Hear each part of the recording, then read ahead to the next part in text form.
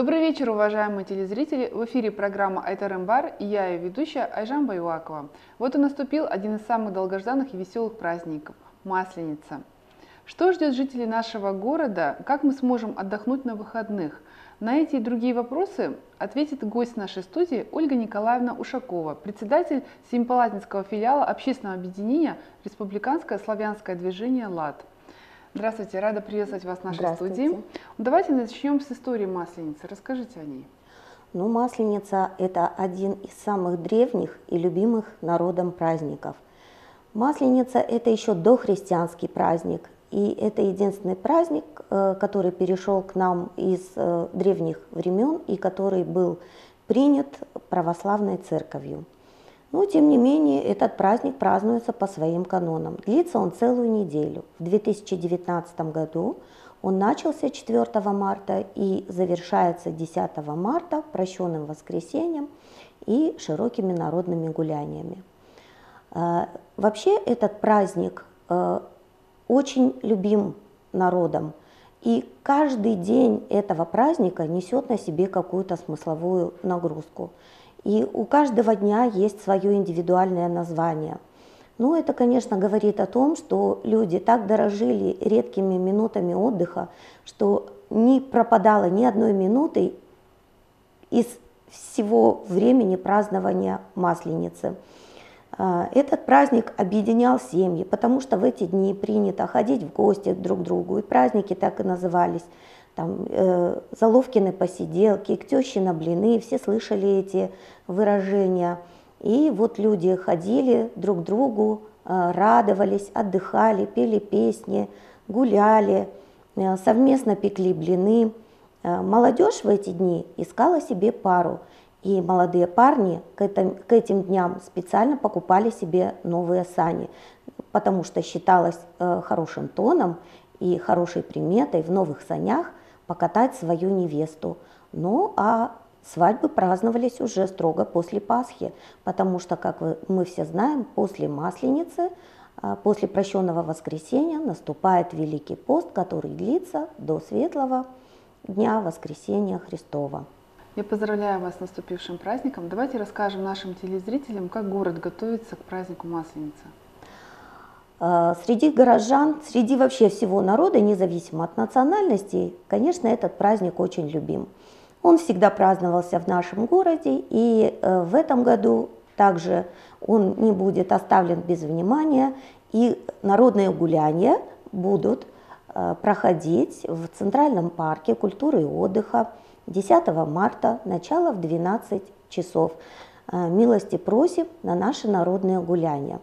Ну, как обычно, в программе будут и веселые конкурсы, и розыгрыш призов, и концертные номера, и коллективные танцы.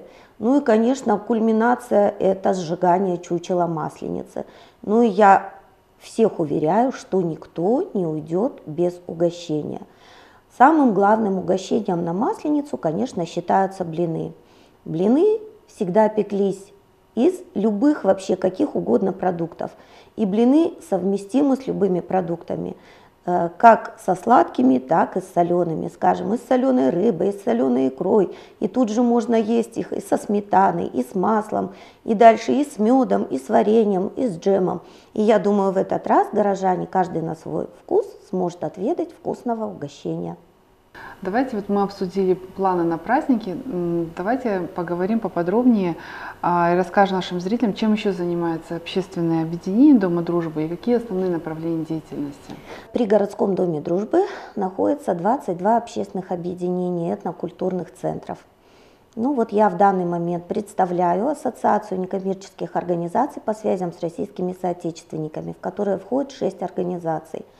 И в данном случае проведением празднования Масленицы а, инициаторами и главными организаторами а, выступила ассоциация при непосредственном участии, активной поддержке и финансировании Акимата и городского отдела культуры, за что им большое спасибо. А, каждое этнокультурное объединение Дома дружбы занимается сохранением, поддержанием, развитием своего языка, культуры, традиций. В связи с этим проводится много праздников, которые имеют национальный уклон, которые могут представить культуру того или иного народа, раскрыть традиции, искусство. И все этнокультурные организации Дома дружбы активно сотрудничают в этом вопросе и всегда находят поддержку друг у друга. Все концерты, все какие-то праздники проходят совместно. Вот и сейчас на Масленицу а, мы будем ее проводить совместно с немецким центром, потому что, оказывается, у немцев тоже есть а, очень древние а, традиции проводов зимы, которые перекликаются с славянскими. Вот так в истории все взаимосвязано. Поэтому мы неотделимы друг от друга, Призываем всех приходить на наши городские мероприятия, чтобы погрузиться в неповторимую атмосферу и культуру того или иного народа, которые составляют единый народ Казахстана. Ольга Николаевна, а как вы поддерживаете связь с горожанами города путем социальных сетей? То есть где в интернете можно вас найти, почитать ваши новости?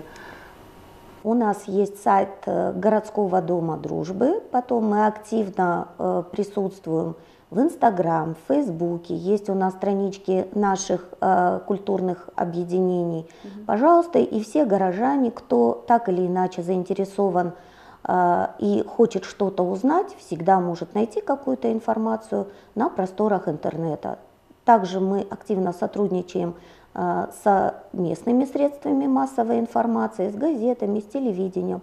Вот и сегодня мы пришли для того, чтобы познакомить горожан с планами проведения Масленицы и пригласить всех на праздник. Спасибо большое. А возможно, забегая вперед и опережая события, какие еще сюрпризы вы готовите для горожан весной?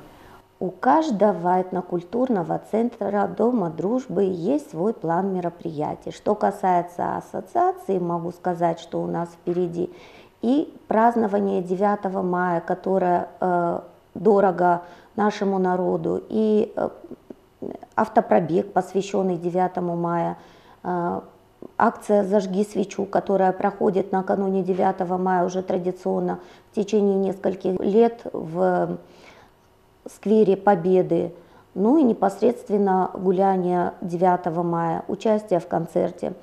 Также мы планируем в этом году провести праздник Ивана Купалы, э, ну и традиционный День русского языка и литературы, День языков, ну то есть э, те праздники, которые традиционно проводятся э, ежегодно в нашем городе. И мы призываем всех горожан быть активнее, интересоваться культурой своего народа и соседа, который рядом проживает. Участвовать во всех городских мероприятиях – это обогатит всех. Э, когда мы будем лучше знать друг друга, наши традиции, мы будем еще крепче дружить.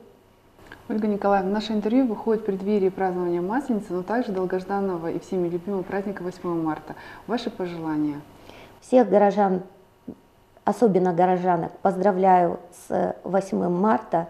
Я желаю нашим женщинам здоровья, самое главное, хорошего настроения, удачи, и чтобы каждая женщина была для себя феей и могла исполнить те желания, которые она сама себе желает. Поэтому желаю всем женщинам быть феями для самой себя в первую очередь. Спасибо огромное. Уважаемые телезрители, а наша программа подошла к концу. Напоминаю, что гостем нашей студии была Ольга Николаевна Ушакова, председатель Семипалатинского филиала общественного объединения Республиканское славянское движение ЛАД. Всех-всех с праздником, всего самого позитивного и наилучшего. С вами была ведущая Айжан Байвакова. Всего доброго, до свидания. До свидания.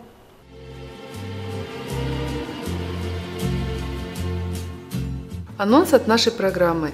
Народный хор русской казачьей песни «Истоки» приглашает на праздничный концерт, посвященный проводам зимы.